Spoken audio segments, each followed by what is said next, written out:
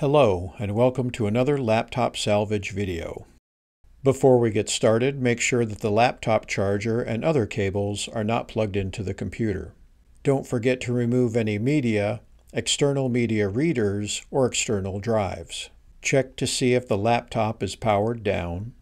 It is recommended to place the laptop on an electrostatic discharge mat and to use the proper tools suggested by the computer's manufacturer. In the last video, we removed the base cover and battery. Now we remove the keyboard, the solid-state drive, and the power switch board. The first step is to disconnect the keyboard cable from the front flip connector. So I'm going to use a spudger and gently come underneath the flip, twist it a bit, and pops it right up. We simply take the connector right out. Take a spudger or screwdriver and push its end into the release holes. You will need to apply firm, steady pressure until you hear a popping sound. This is the bottom of the keyboard separating from the pins holding it to the chassis.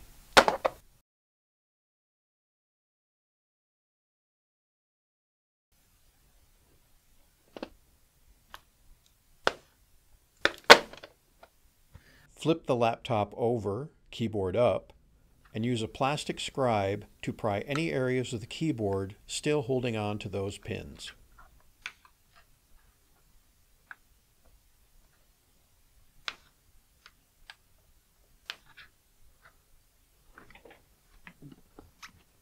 Okay, let's try the other side.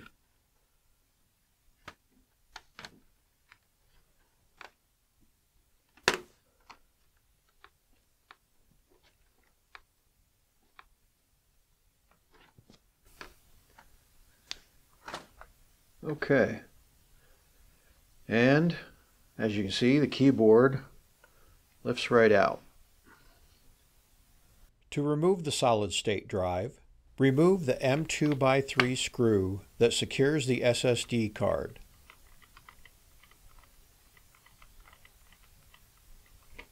The drive pops up. Slide and lift the SSD card from the system board.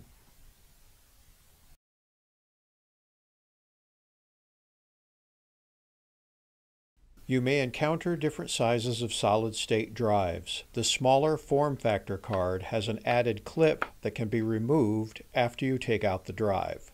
Remove the M2 by 3 screw that secures the SSD card. Slide and lift the SSD card from the system board.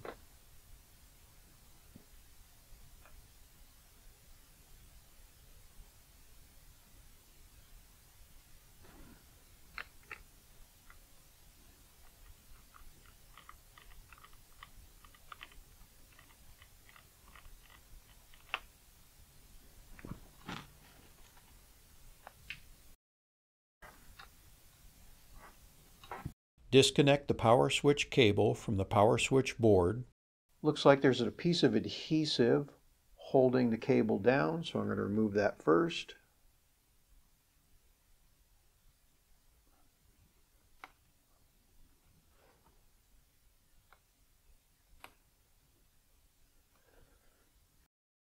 Now I'm just going to carefully pull the cable straight out. Remove the two M.2 by 3 screws that secure the power switch board to the computer.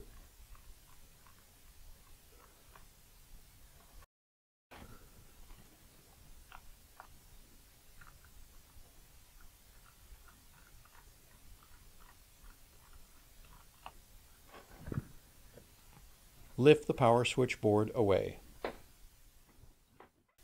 Hi, JP here with Swing Computers. Thank you for watching, and if you learned something, give us a like if you did. This laptop salvage series will cover several different laptop models, so be sure and subscribe to our channel. Click the bell notification to receive an alert when we post our next video where we will remove the audio board, touchpad, and power connector port. Until then, don't forget to rescue, reuse, and refurbish.